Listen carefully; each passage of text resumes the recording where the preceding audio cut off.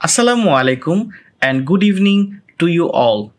Welcome to the masterclass on OSPE for MBBS final year student episode Nong 4 organized by ACP Bangladesh chapter and supported by Bangladesh Society of Medicine. As you already know, it is a program which is designed for the medicine OSPE of final professional MBBS examination. Today's topic is the most chaotic topic of all time and we have received so many requests about this topic. Yes, today's class will held on echocardiography or shortly called ECG. To teach us about ECG, we have a legendary professor here with us. He is none other than Professor Titu Miah sir. He is the principal and professor of medicine, Dhaka Medical College. He is also the former Secretary General of Bangladesh Society of Medicine. Today's program will be chaired by one of the best physicians of our time, our very own Governor of ACP Bangladesh chapter, Professor H.A.M. Nazmul Ahasan sir. He was also a former president of Bangladesh Society of Medicine. As a panelist, we have another renowned professor of medicine, Professor Hafiz Sarder sir. He is the professor of medicine, Dhaka Medical College. As a moderator with us, we have the young, the talented, and beautiful Dr. Madhabi Karmaker Madam. She is the consultant of nephrology, Dhaka Medical College, and she is also the member secretary of ACP Bangladesh chapter. During the live session, you can ask topic related question on the co comment section of the live stream. We shall try to answer them in the question and answer session, which will start right after the presentation. So, without doing any further delay, let me hand over the session to Dr. Madhabi Karmaker Madam. Dr. Madhabi Karmaker Madam. Thank you, Dr. Prince, for your nice introduction. Honorable Chairperson and panelist, respected speaker and learned audience, good evening. Welcome you all to our today's masterclass on OSPE. Uh, for it is arranged for final year MBBS students, organized by ACP Bangladesh chapter and supported by Bangladesh Society of Medicine. Our today's topic of discussion is electrocardiogram or ECG. ECG is an important diagnostic test and a very common investigation that gives various information about heart. Interpretation of ECG is a must for every physician. That's why it is an integral part of OSPE. And for next an hour, we will go through this important topic, which will be discussed by a renowned physician and a great teacher, master on this topic, Professor Dr. Muhammad Titu Miah sir, who is now working as a professor of medicine and principal Dhaka Medical College. We also uh, we are lucky that we have another renowned physician and a very dedicated teacher, Professor Hafiz Sarder sir, as a panelist with us. He is the professor of medicine and head Department of Medicine, Dhaka Medical College. And our today's session will be chaired by one of the most respected teachers and a famous physician, Professor A.N. Nazmul Ahasan sir, who is a dream maker of these health talk sessions and the current governor, ACP Bangladesh chapter. So no more delay. With the permission of the chair, may I now request Professor Titu Miah sir to start his lecture. Professor Titu Miah sir. Uh, thank you, Madhabi. Uh, am I audible? Yes, sir. Madhabi? Yeah. Yes, sir. Uh, my my uh, heartfelt thanks and gratitude uh, to the organizer, and special thanks to the today's uh, chairperson, sir, who is the current government of governor of ACP chapter Bangladesh, and also the today's other panelists, my colleague and my head of the department, Dhaka Medical College, Medicine Department, Professor Hafiz Sarder, and also um, I have uh, found uh, and I have listened uh, the and I have seen the presence of my mentor, my teacher, and who was the ex-principal and the head of medicine in Dhaka Medical College, Professor Khan Abul Kalam Azad sir, and also the other participants and uh, the panelists and uh, Dr. Prince, uh, who are also in the part of the organizing, organizing this class. and I'd like to thanks again for choosing me as a speaker in this very common topic, Madhabi has already mentioned, which is a very common topic in uh, final prop exam. And everybody should know about uh, the ECG, few basic things about ECG. And uh, we know the in the final prop exam, uh, examiners usually enter through the ECG into certain topics, especially the cardiovascular system and some uh, related topics. So this is an essential part of exam, and especially in the OSPE or in the nowadays uh, in the near future, it will be included in the Viva table also. So uh, uh, we should we are going to uh, give some highlights to the student uh, so that they will be benefited from our uh, discussion.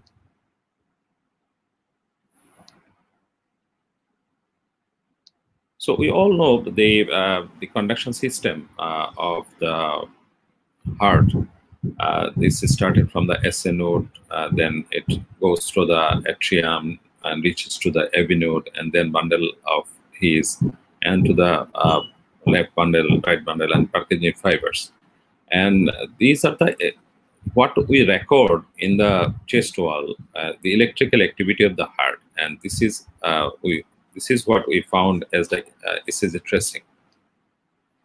we know that leads, uh, 12 leads ECG. Uh, there are three limb leads and the unipolar limb leads also another three and six chest leads V1 to V6. So uh, these are the locations, uh, especially the uh, chest leads uh, start in the right parasternal region in the fourth intercostal space, V1, V2 in the fourth intercostal left parasternal border, and V4 in the fifth intercostal space, and V3 is in between. And uh, then in the V5 uh, in the left fifth intercostal space in the anterior axillary line, and also the V6 in the left fifth on the mid axillary line. So uh, this is also important just to uh, have an idea how the leads help in localization, anatomical location of the involvement of the heart. Uh, if we find something, some changes, or the uh, these leads represent the uh, following areas. Uh, I mean, the 1 and AVL and V5 to V6 means the lateral or anterolateral aspect of the heart. And always the lead 2, 3, and AVF uh, signifies the inferior aspect of the heart. So when we want to see any pathology, uh, in we should look into the in the inferior aspect of the heart, inferior surface of the heart. Then we should search in the lead 2, 3, and AVF. Similarly, V1 and V2 reflects the right ventricle, and V3, V4 interventricular septum. So any uh, thing uh, happens in the changes in the V3 and V4, it means the interventricular septal uh, involvement. And V5 and V6, the typically the, uh, the left ventricle uh, denotes the left ventricle. And V1 to V6 means the whole anterior aspect of the heart. And when it uh, add, we add with the 1 and AVL, and then V1 to V6, means the lateral part and also the anterior part means the extensive anterior aspect of the heart or it is called the anterolateral and one and AVL only the very high high lateral and 2 3 AVF AVL V5 to V6 inferior so uh, by looking at these uh, changes we can locate the anatomical aspects. And if we locate the anatomical aspect anatomical area then we can also can assess sometimes the which artery territory which artery of the coronary artery is involved. We can sometimes locate even without going for the angiogram and CT angiogram or coronary angiogram just looking at the ECG you can uh, assess. So this is a typical uh, uh, this is the paper ECG paper. The most smallest uh, square is 0.04 uh, second. And when these two uh, five uh, smallest square is within one big square, this is uh, 0.04 into 5 means the 0.2 seconds.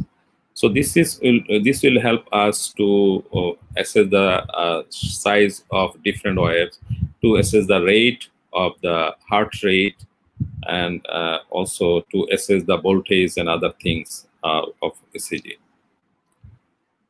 So we all know uh, the, about the uh, OABs. This is the P and QRS and the T. And E is not usually visible. And uh, the PR interval, uh, we can see from the pictures uh, which part. And the ST segment also uh, means the starting of, I mean the ending of the S and beginning of the T is the ST segment.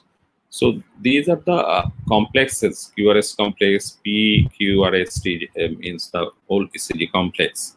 I mean the uh, the main part, the QRS complex denotes the ventricular uh, complex.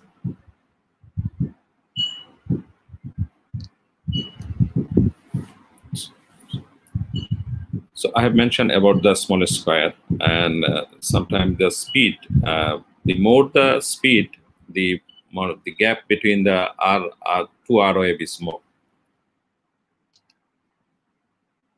So uh, the length and uh, duration, uh, uh the typical, the which we should know is the PR interval. The starting of the P and beginning of the ROA is that this is called the PR interval, and this PR interval uh, is the time limit is 0.1 to 2.2 so when uh, the PR interval is prolonged, it means more than two seconds. And QRS complex, when we say the wide QRS complex, it is always more than 1.2. And some uh, some other uh, uh things, we, uh, especially we should uh, come into, I mean, come into our visualization is the ST segment elevations. ST segment is elevated when it is elevated from the baseline. In case of limb leads, it is one millimeter, then it is significant. And when it is two millimeter in the chest leads, then it is significant. And uh, the depth of the Q wave is usually two millimeter. And when it is more than two millimeter, then the uh, it is means abnormal Q wave. Uh, regarding the uh, OAB, TOAB, in the chest lead, it should be the height of the TOAB in the normal cases, it should be the less than 10 millimeter. And in case of uh, limb leads, it is less than uh, uh 5 millimeters. Sometimes we'll find T is very tall, then it should be uh, more than 10 and 5 in, in chest lead and limb lead respectively. So this is about the axis. I don't uh, like to, even I cannot memorize the uh, how the axis is determined. So it is very difficult uh, for the, it will be difficult for the undergraduate student and it is not required in the exam. So regarding the rate, I have mentioned uh, the smallest square rate means in the heart rate means the how many beats heart is how many times is beating within one minute. So one minute in smallest square is equivalent to 0.04. So it is equivalent to 15 smallest square, 1500 smallest squares, and equivalent to the larger square is 300. So the uh, to find out the rate, we have to, uh, uh, I mean, the 1500 divided by RR interval in smallest square, or the 300 divided by RR interval is the rate. So in case of irregular rhythm, we all know the it should be uh, determined by QRS complexes in the 30 largest square into 10. So look at this ECG. Uh, uh, this is uh, when we are going for to see the ECG, we have to look starting from the POA, then Q, then QRS complex, then uh, SOA, then ST segment, then TOA, and we should uh, find all these things sequentially. So when uh, we are we have uh, got some knowledge about the uh, QRS complex is normal appearance of the curve, then we can find out the abnormal. And uh, we have already uh, have got some knowledge about the what is the duration of the PR interval, what is the duration of the QRS complex, uh, what should be the height of the ST segment, and we call it abnormal, what should be the height of the TOA we have found. So in exam, uh, I want to mean the, what is usually asked in the exam. It is very much related to the rate, rhythm, the abnormalities about the rate and rhythm, and uh, sometimes the morphological changes in the QRS complex. These are the common things we used to uh, ask to the students. So first of all, we have to find out when we are going for reading an ECG, we think about the whether the rate is all right or not. So we have to count the rate. What uh, just I have a few seconds before I have mentioned, and we should go for the rhythm also. Is it regular? Is it or irregular? If it is irregular, whether it is irregular, irregularly irregular, and whether the complexes or uh, QRS complexes are normal looking or abnormal looking. This should be seen in a normal ECG. If we go through this ECG, we have found that uh, all the complexes are uh, similar and normal complex ECG complex. I mean the PQRST is within normal limit. Rate is also we can count down. Uh, it is uh, less than 100 definitely, and uh, largest square RR uh, interval is almost one, two, three, four. so it is near about 70 probably, and it is regular in interval. So this is a normal ECG, rate and rhythm is normal. So what I mentioned, all the waves and intervals and segments are within normal limit uh, and rhythm is regular, heart rate is 70 beats per minute. So diagnosis is normal ECG. So just uh, what is the, uh, what we, we are finding in this ECG? You see the uh, height of the complexes is very uh, low. And the rate a bit um, more than uh, probably the if we count the rate it is uh, more than 100 probably tachycardia is there. But the height of the all the complexes are low. This is uh, the picture of the uh, i mean the typical low voltage city. normally 1 millivolt is equivalent to 10 millimeter so uh, here the uh, voltage criteria has been shown. The it is all less than the normal latitude. What is the normal height? In case of limb leads, the height should be less than five millimeter in case of chest lead to say the normal, uh, I mean the low voltage. And in case of chest, uh, chest lead, it should be less than 10. And here we are finding almost all the all the complexes, the height of the complexes is less than 5 millimeters. So this is the typical appearance of a low voltage ECG. And where we found this, usually it is found in hypothyroidism, it is found in case of pericardial effusion, and it is found in very uh, thick chest wall, and in case of emphysema and other things.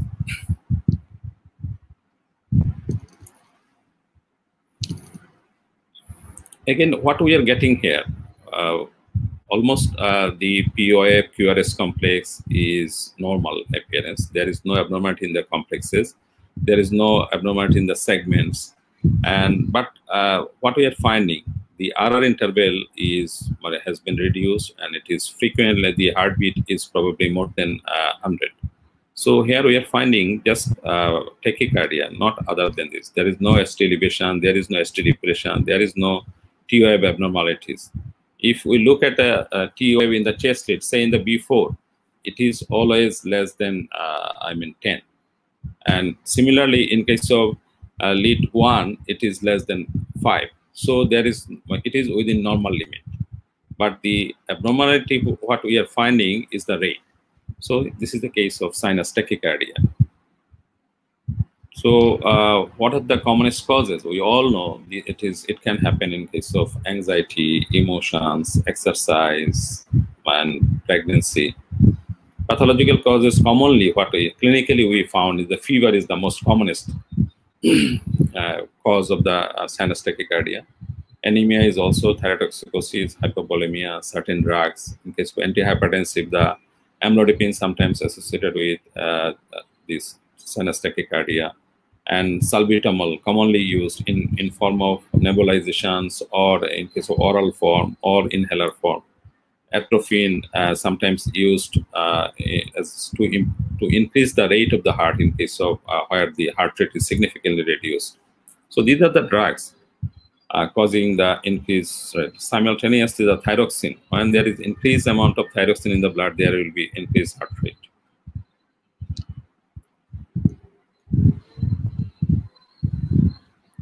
So just look at this ECG, what we are finding.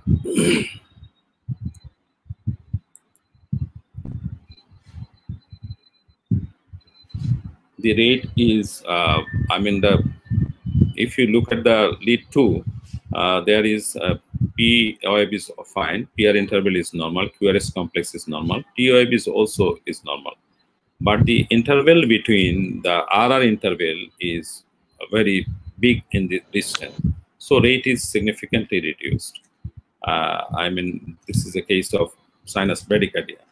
So when there is bradycardia, we find at least few causes uh, in, in case of uh, certain, um, especially in physiological cause into the athletes, because the athletes uh, are going for running and exercising, and the heart beats uh, initially uh, gradually increases while they are going for exercise. But each time it becomes normal due to the upper hand activities of the uh, vagus nerve. So vagus has taken over the, I mean, the driving force as a driving nervous system in case of athletes. So in when uh, in a athletes who is uh, used to take exercise regularly, every time the vagus nerves uh, dominates to make the heart rate normal, and finally settle down to the uh, normally the person have got, has got the bradycardia. And we know the other causes also during deep sleeps, and especially the clinical situations where we, we used to got these sorts of uh, re reduced rate. I mean, the bradycardia is the commonest uh, happening in our country and all over the world. It is the hypothyroidism. And hypothermia, not that much commonly encountered. But when uh, uh patients having uh, severe headache, vomiting, the features of the raised intracranial pressure due to the ICSOL, and if we found the bradycardia, it means the ICP, I mean the raised intracranial pressure is huge. So when the intracranial pressure is very much raised, the presence of the bradycardia is means the ominous sign. And this is found, in, I mean, the bradycardia in case of raised ICP is one of the important finding. And certain drugs commonly used, the beta blockers, is very much commonly used. And also sometimes we use the digoxin and verapamil to reduce the heart rate also. And in case of acute myocardial infarction, we all know it is associated with the bradycardia because sometimes the uh, uh, SA node and the uh, other conduction system may be involved in case of uh, inferior myocardial infarction. So just look at this ECG. What is seen?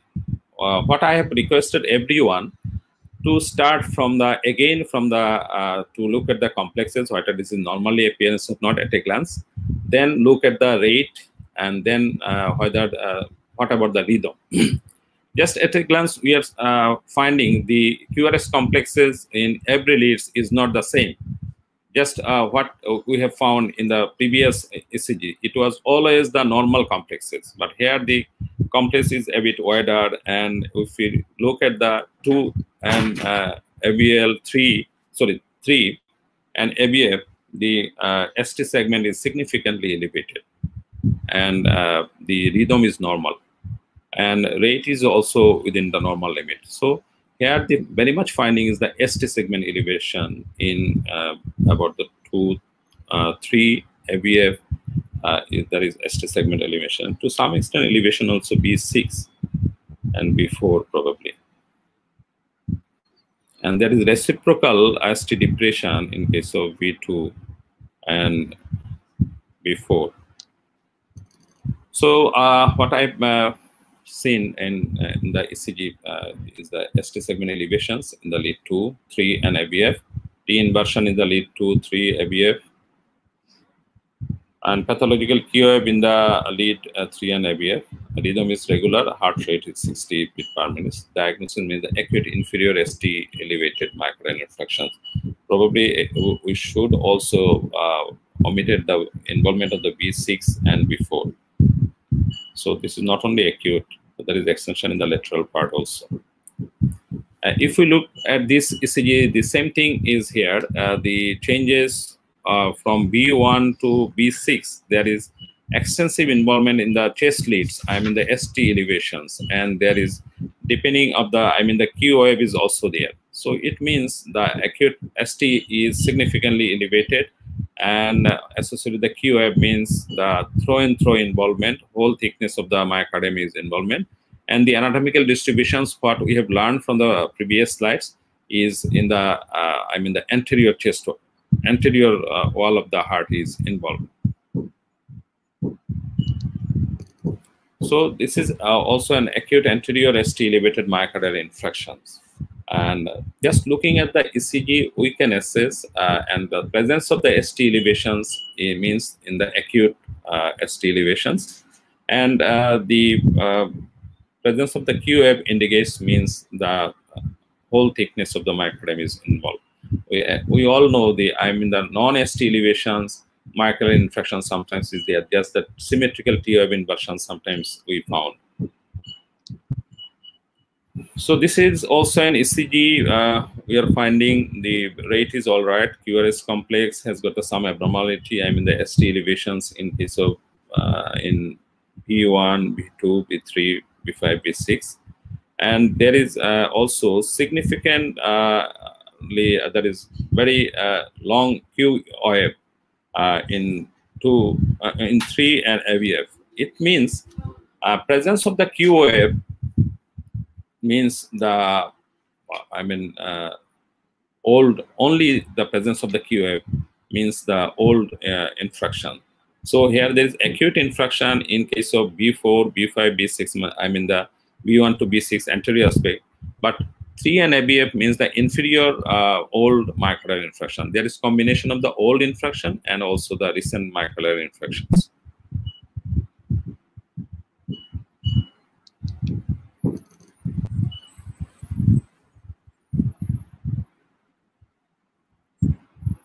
And there is sinus tachycardia also. So, uh, what are the questions can be asked in the looking at this ECG? The examiner can ask about the what is the sign symptoms of how this patient could present. Usually, the patient presents with the severe central chest pain. One of the important cause of severe central chest pain is myocardial infarctions. If some examiner just say, I, I know nothing uh, other than the myocardial infarction, the cause of the central compressive chest pain, he will pass in the exam. And there are also other causes also like the tension pneumothorax, like massive pulmonary embolism, uh, and also the uh, uh, tearing of the aneurysm, aortic aneurysm. And uh, other questions may be asked, what are the other associated symptoms can happen? These are the like the shortness of breath, vomiting, and sweating. Could all the patients with presence with the chest pain always? There are some atypical presentation in certain patients maybe there is a painless myocardial infarction, especially patients with autonomic neuropathy having the long-standing diabetes mellitus with complications. And also it's in very elderly patients may not be aware of the chest pain, but uh, this is uh, this patient suffers from the painless myocardial infarctions. Then the what are the other diagnostic facility tools, uh, diagnostic tests can be done. And this is the uh, troponin uh, is one of the commonest investigation nowadays uh, with do. And there are other also enzymes also, and echocardiography can sometimes help, and associated investigations, uh, essential investigations where facilities are available, coronary angiogram may be done. But interesting is that typical uh, chest pain, typical pictures of the sign symptoms of myocardial infarction may not be associated with the ECG change. We should know because in the very first few minutes, the ECG change uh, may not be uh, may not appear, and it takes sometimes uh, one or two hours even. And but uh, we should go for in these cases we should go for the serial ECGs, and we should we can depend on the troponin and other enzymes. Uh, regarding the treatment, we all know how many treatment where facilities is available always should be in the care, uh, coronary care units. But uh, at the very onset, we should uh, uh, give the patients tablets, a few tablets of aspirin, clopidogrel, or we can use the morphine and other things. And regarding the treatment, one important thing is depends on the duration. And especially in case of ST elevated myocardial infarction, we all know the where facilities available, PCI is done so percutaneous intervention. Two for the uh, that is uh, going is nowadays performed if the patient usually comes within two hours. Uh, the prognosis is excellent and where facilities is available for the reperfusions. And even if it is late, uh, somebody, uh, some uh, somewhere it is says it can be done within 12 hours. Even some can perform within 24 hours, even then the patient might be benefited. Other uh, important uh, drugs can be commonly used for the uh, reperfusion is the streptokinase, alteplase, and others new models of uh, drugs can be used. So we know all the complications of the acute complications and delayed complications in case of myocardial. Commonest complication is the arrhythmia, we all know. The uh, important complications are severe complications like the uh, VT, VF, and very big complications like the AV block and uh, atrial fibrillations. And one of the important complications is the acute heart failure and sometimes the rupture of the papillary uh, muscles. We all know the ventricular aneurysm. If there is ventricular aneurysm, in these cases, the ST elevation is persistent. So persistence of the ST elevations, even the disappearance of the or the patients become all right, but the ST elevation persistent means the ventricular aneurysm. And other causes of ST elevations with concavity upwards is in case of uh, pericarditis.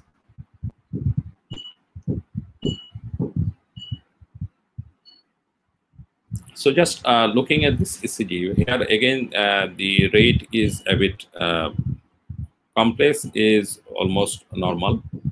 P wave is, uh, we can see the P wave, and T wave inversion uh, is there. Mm, and the we, if we look at this, the in one uh, lead one, the there is significant height of the I mean the QRS complexes, RAB's uh, height is increased. And similarly, in case of V5 and V6, and in AVL also, uh, the in AVL, uh, it is not significantly, uh, the height is not significant uh, there. But if we uh, count down the summation of the V5 and the, I mean, the uh, V5 and uh, V1 and uh, S in V1 and V5, the it is total the I, I, mean the total amount is more than uh, 35 millimeter means the left ventricular hypertrophy. So here, uh, what is the underlying cause of that very hypertrophy? Uh, because the patient has got the bradycardia and simultaneously evidence of the hypertrophy, left ventricular hypertrophy. So other criteria, the single criteria, sometimes the it, if the AVL, the R wave is more than 11 millimeter, this is the single criteria to say that, uh, I mean that there is hypertrophy, left ventricular hypertrophy. So uh, by looking at the ECG, sometimes we can assess the cause of the hypertrophy. Probably in this patient, patient may have some uh, drugs uh, causing the bradycardia and the cause uh, where there is commonest cause in our country of left ventricular hypertrophy is the systemic hypertension. This is not only in our country, all over the world. So uh, I have mentioned the uh, ECG findings. The R in V6 is 30 millimeter and S uh, in V1 18 millimeter. This, this, is definitely more than 35. And left ventricular hypertrophy with strain because the TOF is inverted and there is asymmetrical. The two limbs of the TOF is asymmetrical, not the symmetrical. When there is asymmetrical TOF inversions uh, with the features of uh, hypertrophy, this is due to the uh, ventricular hypertrophy with strain pattern, we used to call it. And uh, the cause of, again, I have mentioned, the commonest cause of uh, left ventricular hypertrophy is the systemic hypertension. And the association of bradycardia, we can say probably this is a case of hypertension and the patient is having the beta blocker or certain calcium channel blocker like the diltiazem and causing the bradycardia. So uh, uh, some questions may be asked, what will be the clinical findings in uh, just looking at the uh, ECG? Are the other clinical findings may help to say the patient has got the evidence of the uh, the patient has got the evidence of the ventricular hypertrophy. Definitely, the apex beat uh, will be the forceful or the shifted uh, outwards and downwards. And if the patient has just heaving apical impulse, uh, having no murmur, it means the hypertension. If the patient has got the heaving apical impulse with evidence of the murmur, uh, I mean the ejection systolic murmur, the underlying cause is the aortic stenosis. If the patient has got the forceful apex beat, uh, having this source of ECG and the apex beat is forceful, I mean the thrusting, And there is evidence of the early diastolic murmurs. The cause is the aortic regurgitation. So just looking at the ECG and also the clinical findings, if we correlate, we can diagnose almost most of the uh, pathology underlying cause. And then the other investigations can help us, the, like the echocardiography. And I have uh, mentioned already the commonest causes like the aortic stenosis, aortic regurgitation, and the most commonest cause is the systemic hypertension uh, of the left ventricular hypertrophy, and other causes include the hypertrophic cardiomyopathy also.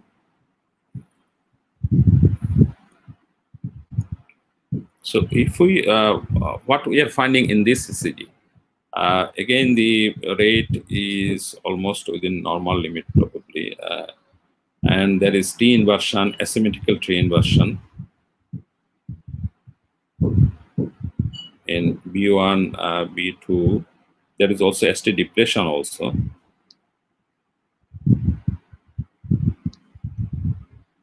But uh, uh, the V1 uh, is the height of the RF is very, very uh, significant. And uh, the uh, height, uh, when in case of right ventricular hypertrophy, the ECG criteria is when the height of the RF is more than 6 millimeter in the V1, it means the patient has the right ventricular hypertrophy. Or the R and the S wave ratio is more than 1, is uh, there is, in brief, we can say the patient has got the right ventricular hypertrophy here, the patient has got the criteria of the uh, right ventricular hypertrophy with uh, the asymmetrical D I mean the strain pattern. Uh, and uh, this is uh, the ECG showing the right ventricular hypertrophy. And if we uh, ask the student, sometimes our teachers ask, what are the clinical evidence of the right ventricular hypertrophy? Sometimes the apex beat is shifted outwards, may not be in the downwards, but the characteristic findings is the in palpation is the uh, I mean the left parasternal lift. When there is evidence of the left parasternal lift, uh, it means the right ventricular hypertrophy. And if we go for the ECG, uh, we expect this sorts of finding, but just we have seen the ECG previously. So, what are the commonest causes of the right ventricular hypertrophy? Uh, the students may be uh, encountered from the teacher's questions. And this is the commonest cause. Uh, again, the right ventricular hypertrophy is the pulmonary hypertension, whether it is primary or secondary. In our day-to-day -day practice, we used to encounter the commonest causes of uh, secondary pulmonary hypertension is the lung pathology, and COPD is one of the important findings. So, a patient having COPD with the evidence of the right ventricular hypertrophy, we clinically we, we say this is a case of cor pulmonale, and the very much cause is usually the cor pulmonale. And the underlying cause, lung pathology, may be other than this, like the DPLD and other things also. And there are other valvular uh, conditions may be associated. Say patients has got the pulmonary stenosis. We, we used to find some systolic uh, murmur in the uh, pulmonary area, and on palpation there might be associated with the thrill and right ventricular hypertrophy, soft uh, second component of the heart sound, everything will uh, goes in favor of the right ventricular hypertrophy due to pulmonary stenosis. Say in case of mitral stenosis, uh, what can happen? In case of mitral stenosis, we know the patients have the tapping apical impulse. There is uh, uh, increased amount as there is left atrial pressure increase. Uh, retrograde uh, in a retrograde manner, there is pulmonary hypertension is also increased and this uh, causes the I mean the outflow. Uh, I mean the right ventricular uh, has to face the more pressure in the pulmonary circulation, and uh, secondarily there is pulmonary uh, right ventricular hypertrophy. So in case of mitral stenosis or certain other valvular disease to the mitral regurgitation, there might be associated uh, right ventricular hypertrophy. So again, what just I have mentioned, the left parasternal lift uh, or HEAP is a characteristic findings of the almost uh, sometimes hallmark for the diagnosis to say that the patient has got the, I mean, right ventricular hypertrophy. And sometimes epigastric pulsation is also help in diagnosing, uh, in I mean, correlating the diagnosis of the right ventricular hypertrophy. And presence of murmur on auscultations means the valvular uh, involvement, what I mentioned previously. And other investigations like uh, echocardiography uh, can help us to say definitely what is the underlying lesion. commonest causes is the pulmonary hypertension I have mentioned, the primary or, or secondary, and sometimes ventricular septal defect or atrial septal defect associated with the right ventricular hypertrophy, while there is partial of the shunt. In this case, the patient is uh, uh, associated with the central cyanosis. Then we can call it the Eisenmenger syndrome. So uh, in the very beginning, we have seen when uh, just at a glance, we have to look at the uh, complexes, QRS complexes. Here we are finding that there is big complexes, wide QRS complexes. So the wide QRS complexes, the height of the RA uh, in, in one AVL in positive deflections, but significant SOF in the V6 and V5. This means the left uh, ventricular LBB, left bundle branch block. So uh, this is the case of left bundle blocks block, and this is sometimes encountered. And when they're in ECG, while we are finding the evidence of the left bundle branch block, it means always pathological. Always pathological. The underlying cause must be there. It can be associated in case of systemic hypertension. It can be associated with aortic stenosis. It can be associated with uh, like the, uh, I mean, cardiomyopathy or ischemic, uh, ischemic heart diseases. So, uh, commonest cause is the acute myocardial infarctions or other coronary artery diseases, severe coronary artery diseases, aortic stenosis I have mentioned, cardiomyopathy, and long-standing hypertension, I mean systemic hypertension. And treatment accordingly. Uh, RSR pattern in the V1 we are seeing here also, uh, I mean SOF in the one, uh, lead one, but the uh, M pattern complex, the RSROF uh, QRS complex in the V1 uh, means the patient has got the right ventricular hypertrophy. I mean the uh, right bundle block. So uh, this is a this is an ECG of the right bundle block. And right bundle branch block is not always pathological. Sometimes it is congenital or familial. And uh, the other causes of right bundle blocks, again, the ischemic heart diseases, uh, coronary artery disease, cardiomyopathy, and uh, maybe associated with the uh, hypertension, probably pulmonary hypertension.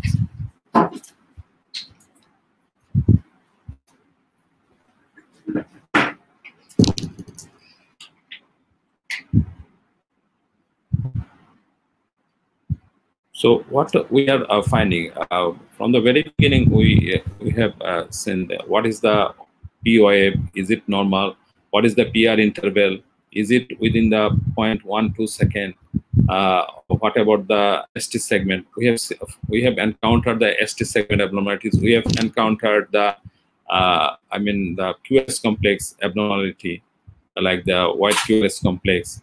Uh, here we are, if we look carefully, the PR interval is more than uh, 0.12 second. So there is prolongation of the PR interval. So PR interval is prolonged. Uh, means it takes time from the atria to ventricle. Uh, so uh, there is prolonged PR interval, uh, and the rhythm is sinus, definitely. This is the first degree heart block we know there are first degree heart block, second degree heart block, and third degree complete heart block. The commonest cause is the drug or is one of the important cause of the prolonged PR interval. And myocardial infarction, I think the second important or the first, uh, first or second. Drugs and myocardial almost the similar, uh, I mean the same uh, ranking in causing the uh, first degree heart block in the prolonged PR interval. Rheumatic, rheumatic carditis is also important, but nowadays we usually encounter very less number of the cases of the rheumatic carditis.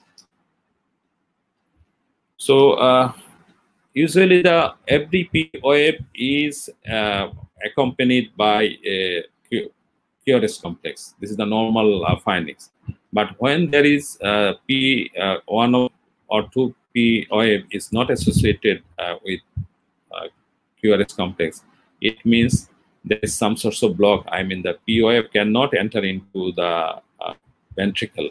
So it cannot generate the QRS complex. There is some sort of block. So uh, in case of first degree heart block, we have seen the PR interval is prolonged.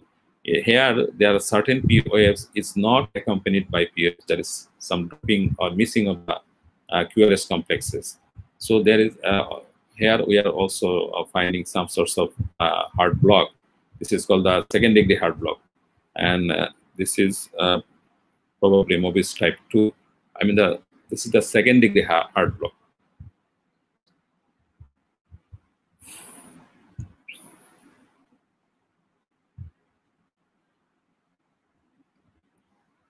So um, here uh, the uh, we have uh, find the uh, second degree heavy block.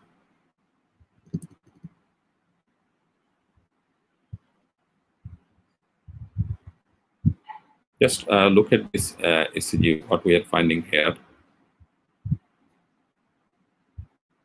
The relationship of the POA, uh, the PR interval uh, is always uh, some most of the time it is static, but while there is PR interval is not, uh, I mean, the uh, always in the same manner. I mean, uh, there is the PR interval is variable PR interval. Then we we can say there is some sort of, I mean, some sort of block is there. And in this case, the RR interval is all right, and PP interval is all right. So uh, uh, where there is uh, heavy dissociations, there is P is uh, running in its own way and R is running in its own, own, own way, then there is dissociations. And uh, the uh, PR interval is variable, then we call it the complete heart block. Here the rate is 55. Usually in case of uh, complete heart block, the rate is always less than 60 and in case of complete heart block, uh, in, if it is not congenital, the rate is in around 40, 45, and uh, not more than 50. As there is 55, it may be due to the congenital uh, complete heart block or uh, other causes. Uh, most of the co uh, complete heart block, the heart rate is usually in and around 40 or 45. So how a patient with a complete heart block presents? Sometimes the patients uh, remain asymptomatic and sometimes the only the uh, features of palpitations. How as the rate is minimum, but the stroke volume is very high because the heart get enough time to be fulfilled. Then the uh, we call it the bradycardia. I mean the due to bradycardia there is enough time to be filled. So and diastolic volume is very high and the stroke volume is high. So the palpation, the patient feels there is a throbbing, I mean the thirsting of the heartbeat. And patients sometimes complain, complain about the palpitations. And the Stokes-Adams syndrome means syncopal attack in case of complete heart block. This is one of the commonest uh, findings in uh, on the presentations of complete heart block. And again, the commonest cause is the myocardial infarction is the commonest cause. And the other uh, causes are certain uh, drugs, digoxin, beta blocker, can be associated with the complete heart block. And I have mentioned the uh, congenital heart block. In case of myocardial infarction, it may be the transient uh, complete heart block. It may be eliminated. And uh, in other, if it persists, when there is persistent complete heart block, the treatment is the permanent pacemaker.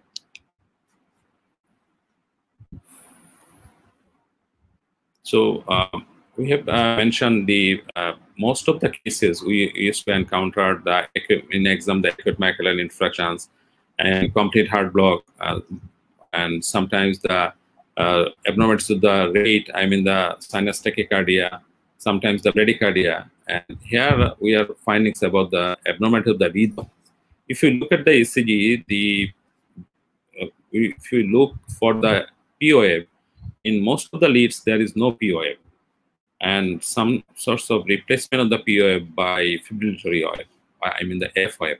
And some ECG may not be, uh, FOF may be absent, but the characteristic findings is the irregular RR intervals. So when POF is absent and it is replaced by fibrillatory OF and the RR interval is uh, irregularly irregular, but the shape of the complex is normal, the diagnosis is atrial fibrillations and we all know the causes of the atrial fibrillations. We all know the complications of the atrial fibrillations.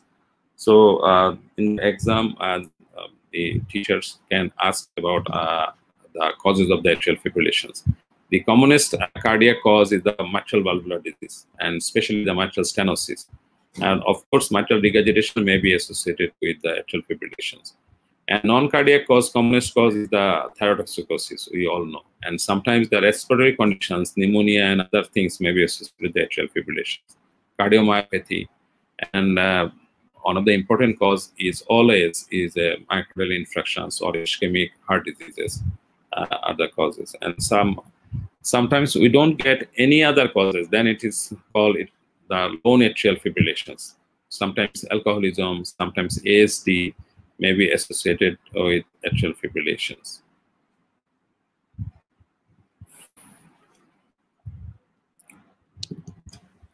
So all uh, almost we have uh, mentioned all the causes and the commonest complications or dangerous complications of atrial fibrillations is the thromboembolism and the heart failure.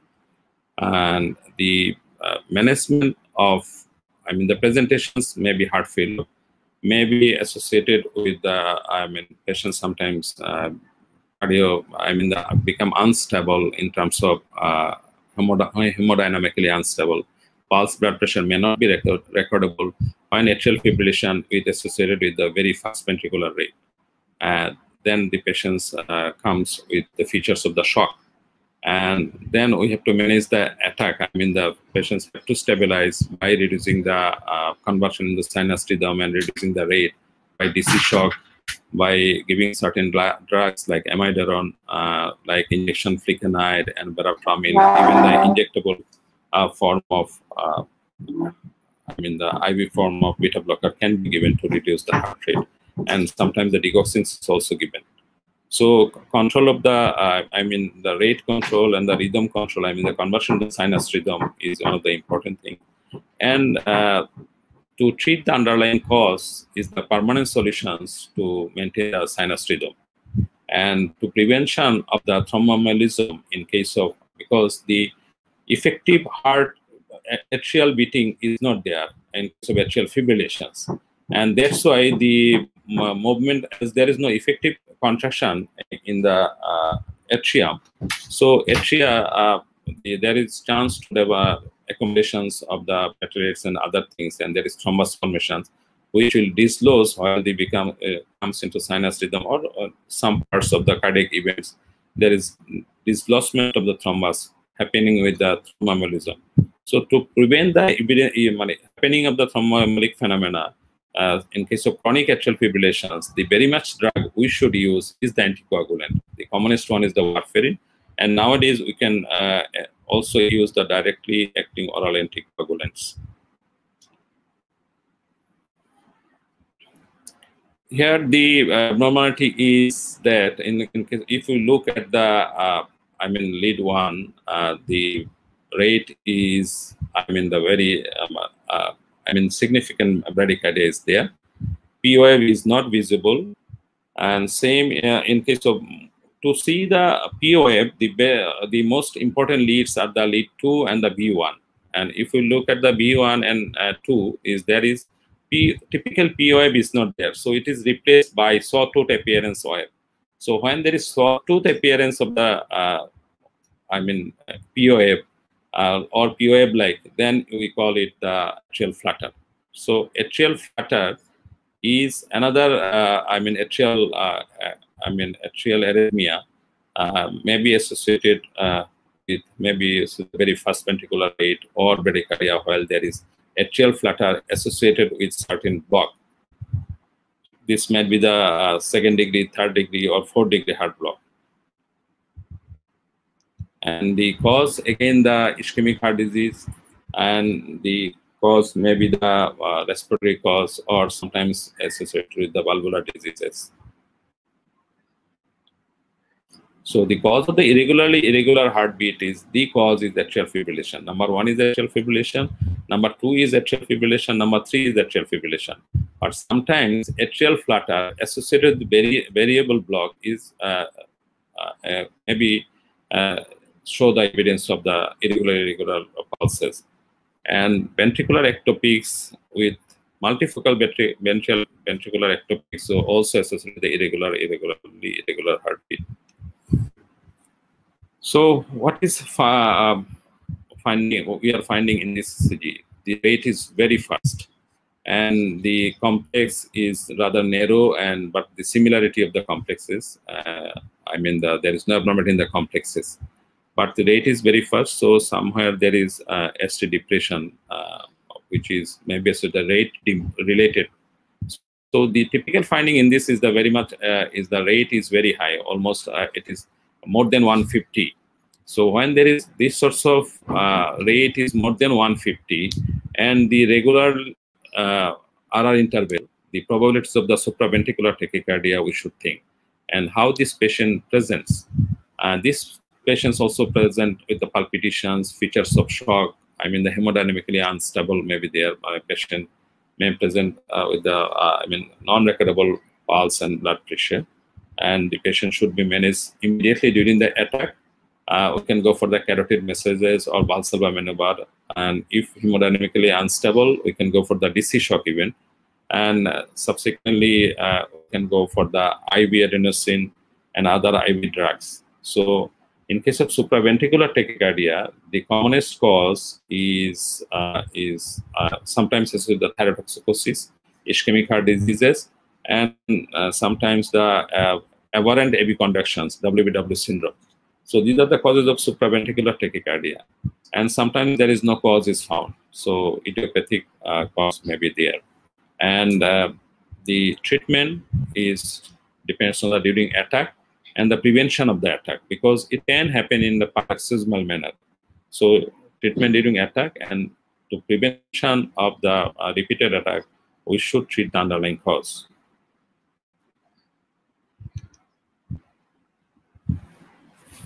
So anxiety, tension, tea, coffee, uh, sometimes with the physiological cause. Pathological, I have mentioned that thyrotoxicosis, ischemic heart disease, WPW syndrome. Uh, very rarely the digitalis toxicity. So uh, first of all, we should assure the patients if there is no hemodynamic instability. Uh, I mentioned about the carotid man management uh, almost. And when there is aberrant conduction pathway uh, with the recurrent attack of the supraventricular tachycardia, I mean the WPW syndrome, the treatment is uh, catheter ablation, radio frequency ablations. So here uh, we are finding the different complexes. Uh, one is a bizarre complex uh, with very wide QRS complex with T inversion. Another uh, is a normal complex. Uh, the height is not that much. Typical normal appearance in between and every normal beat a normal complex is uh, followed by an abnormal complex white so this is the premature ventricular contractions uh, this may be a normally findings in the healthy person sometimes and uh, there is no underlying cause and sometimes the uh, other causes like the ischemia or uh, the cardiomyopathy or other valvular lesions may be associated with the ventricular ectopics so these are the other ectopics sometimes uh, found in couple, couplet or sometimes triplet. When there is uh, three uh, ventricular ectopics occurs together, together we then uh, call it the ventricular tachycardia. Uh, if we look at this ECG, the abnormal, very much abnormality is uh, just the tall peak TOF in the chest lips and also in the lead too. So when there is tall peak TOF, TOF height of the TOF is more than 10, and then we should think of uh, several causes. The most important thing is the potassium. Just we, if we put the potassium below the underneath the TOF, when there is elevated, TOF is also elevated. In it means hyperkalemia is the important cause of the tall peak T. The only cause maybe we can uh, memorize. And so when there is tall peak T, uh, we should think of or we should be cautious about the possibilities of the hyperkalemia and we should measure the potassium level and should take the actions accordingly according to the level of the potassium. And because uh, this may turn into ventricular tachycardia or ventricular fibrillations and threaten the life of patients.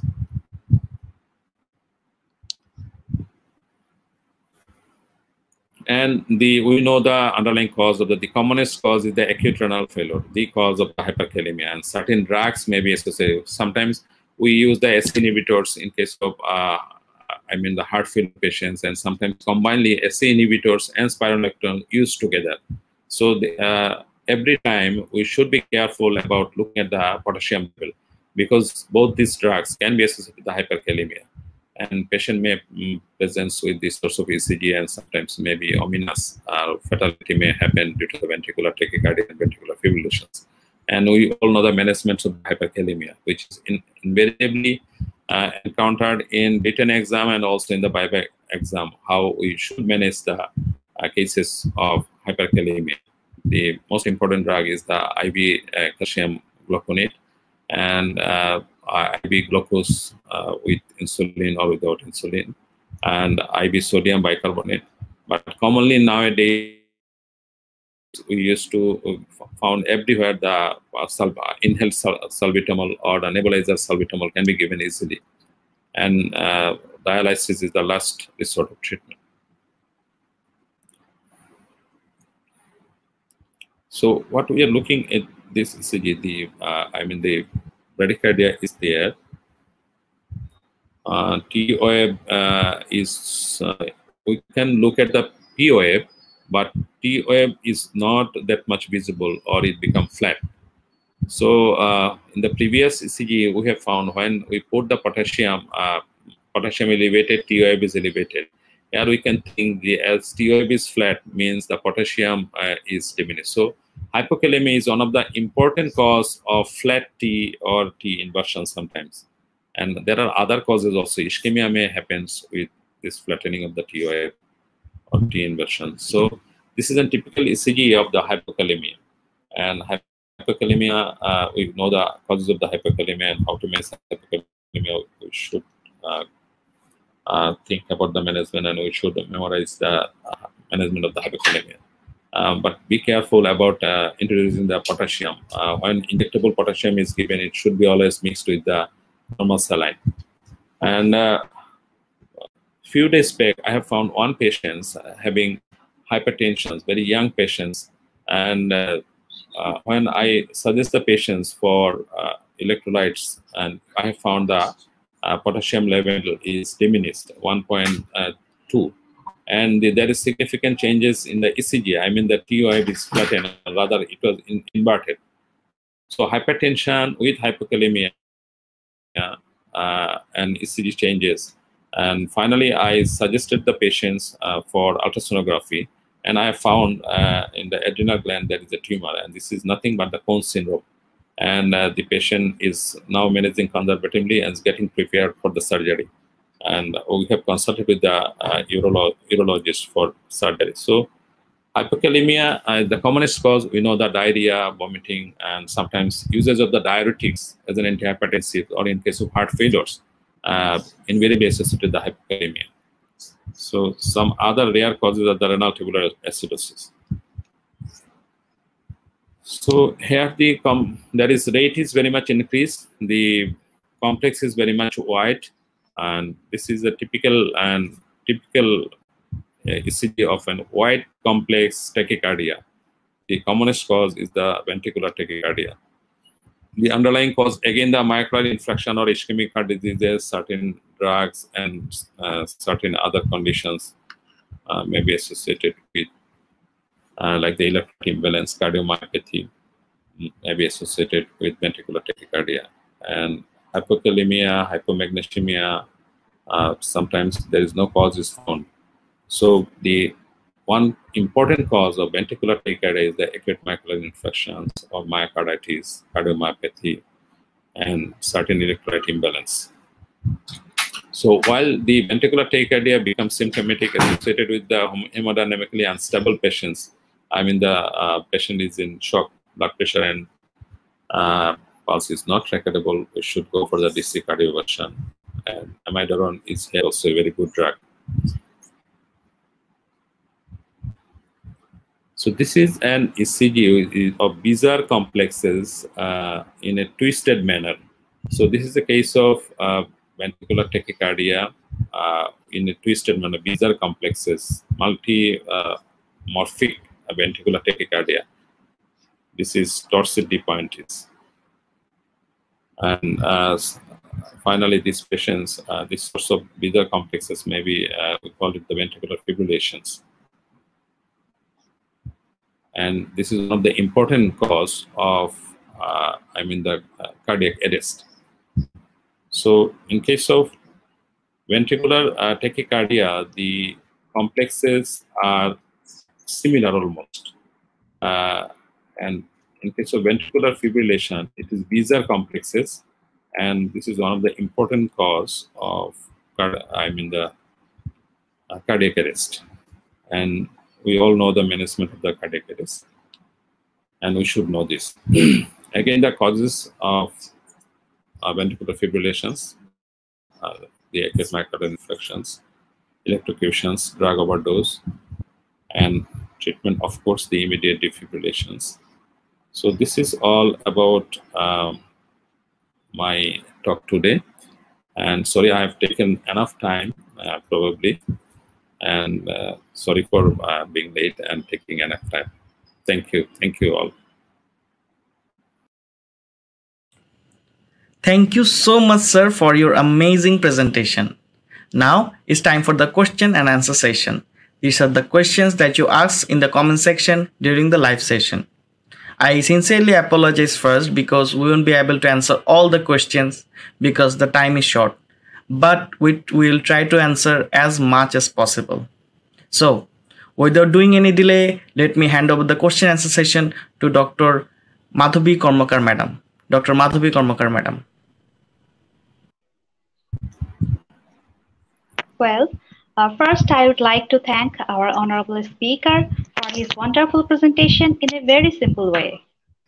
Hope it will help all the students to make their concept clear and will alleviate all the fear about ECG.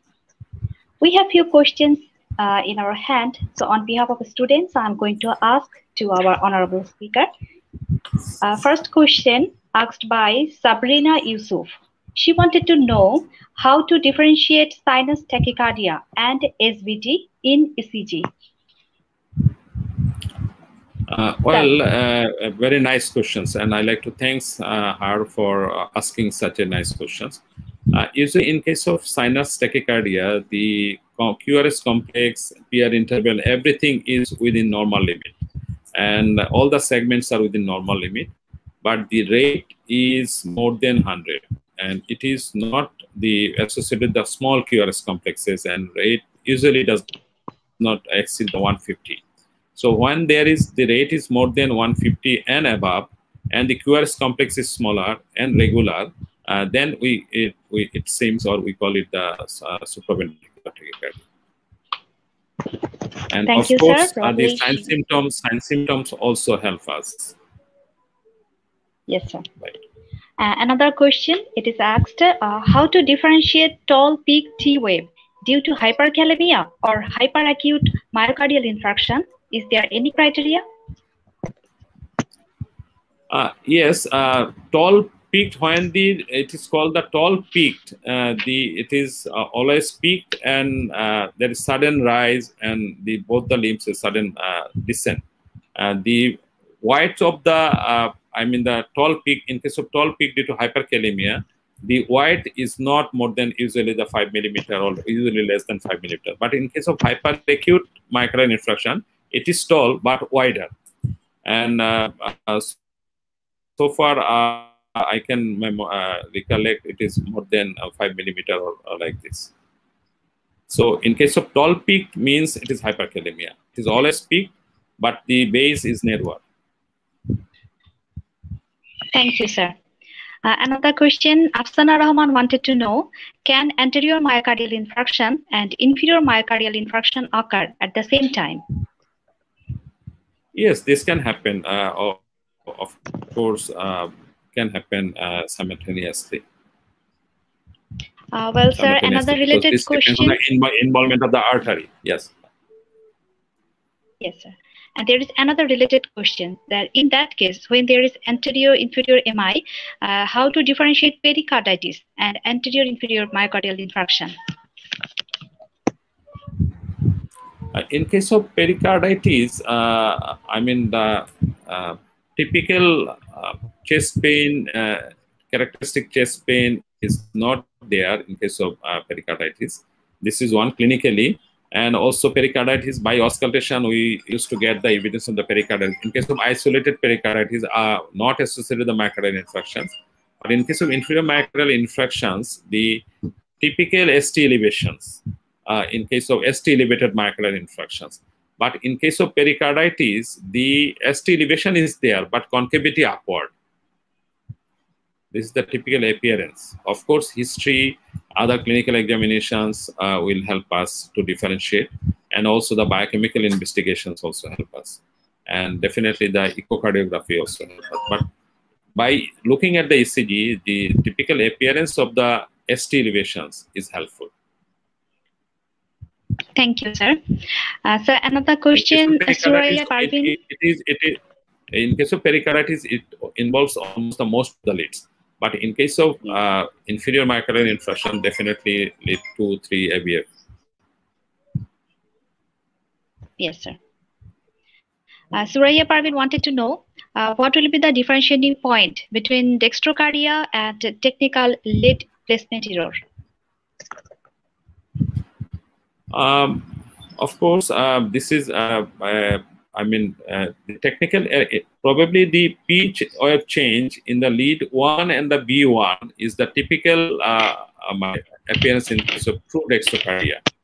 But TOF, uh, change, POF, POF changes in the other leads uh, uh, generally uh, occur so far. I can say, probably Nazmul Ahasan sir can say details about the, in case of technical, I mean, dextrocardia, probably the POF inverted in all the leads, probably. Uh, well, uh, sir, another question. Uh, Suraya Parvin uh, again asked, when there is tachyarrhythmia, what will, how they can differentiate atrial fibrillation from atrial flutter? When there is tachyarrhythmia, at, how how could we differentiate? Uh, how yes, atrial fibrillation and atrial flutter. How can be differentiated? Uh, in case of yes, uh, uh, the just looking at the POF.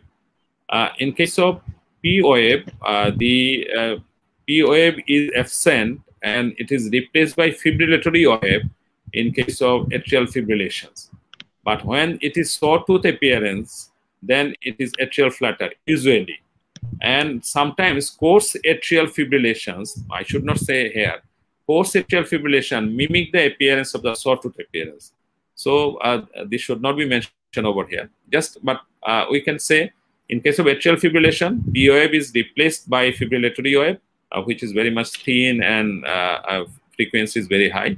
But sawtooth appearance in atrial flutter, one. Second importance is that usually atrial flutter, the heartbeat is regular uh, usually regular manner. And if it is irregular, regularly irregular. But in case of atrial fibrillation, it is irregularly irregular. Uh, but in case of atrial flutter, usually say the, there is atrial flutter is associated with certain degrees of block. If it is one in all leads, there is two is to one money uh, all the time. It is three is to one block. Then the heart rate is regular. But when it is variable block, then it is uh, it look like the RR complex, the R, uh, the QRS, com I mean the RR interval look like the atrial fibrillation. Uh, so uh, in case of in nutshell, the P appearance of the POF and the uh, I mean the RR interval usually regular in case of atrial flutter, but in case of atrial fibrillation, it is typically irregularly irregular. But rarely atrial flutter mimic the atrial fibrillation sometimes it is difficult to differentiate. Thank you very much, sir, for your nice explanation. And this is the end of our question and answer session. Hope your explanation will help our students a lot. Now, I'd like to request our honorable panelist, Professor Mohammad Hafiz Sarder sir, to say something about our today's session and the topic. Sir, please.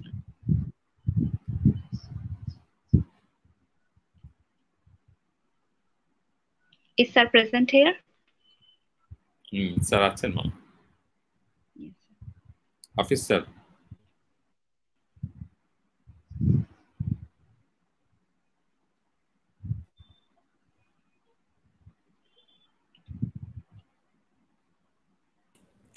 Ma'am, I guess Hafiz sir is not present due to some network issue, ma'am.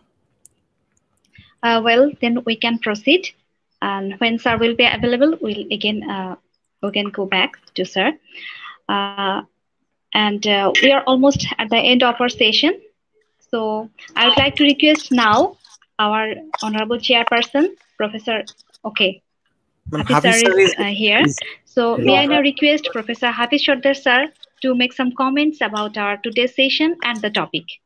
Thank you very much. I am apologize for my poor connection, uh, but I was interrupted frequently. Uh, I am very honored as a participant in this important session, and I am very much honored in presence of our beloved mentor, Professor Nazmul Ahasan sir, and our beloved teacher and uh, principal Dhaka Medical College, especially Professor of Medicine. Uh, his nice presentation will elaborate the knowledge of myself also and the learner also. So I must thank uh, Professor Titu Miah from my heart for his nice, nice presentation. I also thanks to the organizers and the uh, participant in this session. Actually, ECG is very important for um, our practical life and in the, on, on also for in the exam. Uh, so from uh, the uh, perspective of exam, this, this gives a very important impression to the examiner in the Viva Voce. So you should be, you perform better in the exam. In the exam, you should do the uh, interpretation of the X-ray very well. So uh, you can uh, impress the examiner initially. So and so ECG learning of ECG is very important. And in this session, I think it will give a knowledge to you and also me. Uh, thanks the organizer for this uh, organize, uh, for this and i say to the learner that, that uh, you can identify any ecg at a glance if you are not identified the ecg at a glance you should ask is it normal then uh, get the answer. Is it normal or abnormal? Is it abnormal? Then ask you question yourself, uh, what is the abnormality? Then uh, then see the rate, rhythm,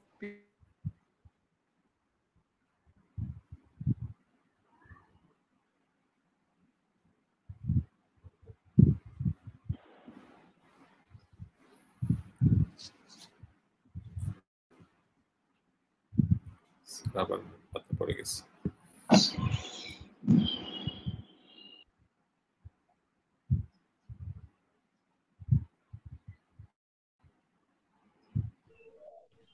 Uh, well, we are almost at the end of our session.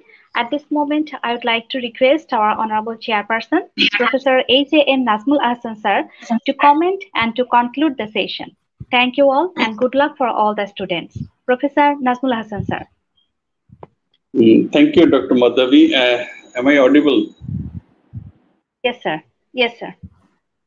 Assalamu alaikum, uh, ladies and gentlemen. At the outset, I want to congratulate uh, Professor Titu Miah for his excellent deliberation on this topic.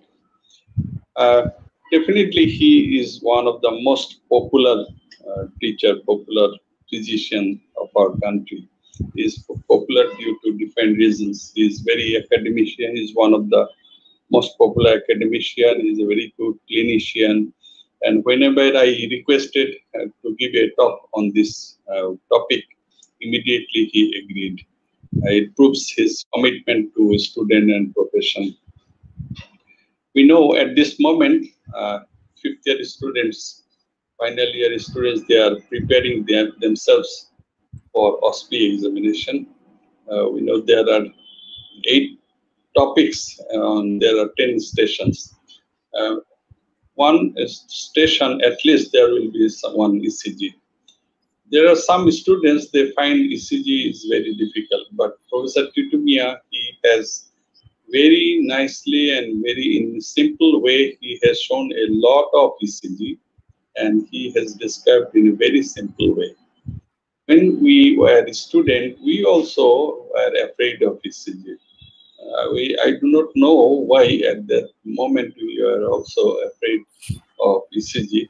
But nowadays we think that it has become ECG. Possibly uh, teachers of present time, they try to make this ECG in simple, very simple way. Uh, he has also mentioned that if one doctor, one physician knows how to read ECG, and I will add not only ECG, if one physician or doctor can know how to read one X-ray and image he is in a very advantageous position. So if you can take, you are able to take a very good history, you can interpret the clinical science, and if you can read the ECG and X-ray, it is very easy to diagnose in most of the situation. He has mentioned one example. He found that the ECG was abnormal and he thought that possibly there is hypokalemia. He has mentioned that he, he advised for serum electrolyte, it was hypokalemia. He then asked for ultrasonography and found there is adrenal tumor and the patient uh, was adrenectomy was done and the patient was so this is a way this is one of the example how one clinician starts from ECG and ultimately uh, the patient is diagnosed. So to know ECG and X-ray and images, this is very important for a doctor and for a physician. I am uh, happy to see also Professor S. M. Hafiz. I'm happy because I had an opportunity to work with Professor Titu Miah, Professor S. M. Hafiz for almost for a decade. We worked together in the Medical College. So it, it was uh, in my lifetime, it was a very fortunate period I passed in the Medical College and found that they are so brilliant, so academicians, so good clinicians. So I requested them to come to this platform for students. Bangladesh Society of Medicine, ACP Bangladesh chapter, they do regularly CME and seminars for doctors, uh, but we also do some programs for residents. But we think uh, medical students are most important target group in our our uh, profession. So we have chosen that we have some responsibilities for uh, medical students. So for, for this time, we have selected seven episodes on OSPE. I think it will cover almost all part. Next program will be on instruments and we have requested Professor Rubina Yasmin she is also one of the important uh, and uh, very popular medicine specialist and teacher of our country. Uh, so mm, uh, definitely uh, today's program was a very successful one. Uh, one some students they have asked very uh, important question. This proves that has this program has inspired them to learn it how to differentiate uh, flavor, whether it is regular or irregular, uh, how, how hyperacute uh, T wave can be differentiated from hyperkalemia or hyperacute MI. And one student also asked how dextrocardia can be differentiated from technical dextrocardia. So dextrocardia is a, a, condition when heart is, remains on the right side. So in lead one becomes lead three and lead three becomes lead one. And AVR is a lead in which all the you know, waves remains uh, inverted. But in case of dextrocardia, it becomes all the waves becomes positive. Uh, in case of true dextrocardia, in D1, uh, there is right axis deviation that is uh, tall R wave. In V3, there is low voltage and and gradually it becomes R becomes low. But in case of technical dextrocardia, we get these changes in limb leads, but we do not get in case of chest leads. So it is possible to differentiate that uh, true dextrocardia from technical dextrocardia. So this, I think today's program was a very successful one. I again uh, congratulate Professor Mount Titu Miah for his brilliant presentation and I'm thankful on behalf of ACP chapter and Bangladesh Society of Medicine, and he is also one of the leaders of Society of Medicine and ACP Bangladesh chapter. I'm also thankful to SM Hafiz for giving the time. Thank you, Dr. Madhabi and Dr. Prince. They are also active members of ACP and Bangladesh Society of Medicine, and Dr. Prince also our IT consultant. I hope all the listeners were very much benefited. And, Professor Titu Miah has shown a good number of ECG. I think he has covered not only the syllabus of undergraduate. There is no syllabus, but um, the ECG which is given in undergraduate examination, definitely the topics uh, will be covered and also some postgraduate students will be also benefited from the presentation of Professor Titu Miah. I have also taken some time. Thank you, Professor Titu Miah, Professor Hafiz, Dr. Madhabi, Dr. Prince, everyone. And I you invite you to listen to our next topic. It will be on Thursday at 9 p.m. Professor Rubina Yasmin, she will be talking on instruments which is given in OSPE. Uh, I invite you to attend that one. Thank you very much. Thank you again. Good night, everybody. Good night. Thank you, Sadly, Thank you we have come to the end of today's program. Thank you, Madhabi. As Thank always, you. we have learned so many important things from Sir today. I am sure after today's class, all the student will get maximum number in the ECG part of the OSPE examination, which will held soon. Many, many thanks to the speaker, the chair, the special guest, and last but not the least, the moderator ma'am for managing time for this program from their very busy schedule. I would like to thank all the audience who were with us throughout the event, especially those who asked very interesting questions. Hope you got your answer. If you joined late or couldn't see the program, then there is no need to be worried. You will find the whole program on the YouTube channel right after the live session finishes. Our next masterclass on OSPE will held on 11th of March where Professor Rubina Yasmin Madam will discuss on instrument part of the OSPE examination. So see you all in the next episode. Until then, take care and good night.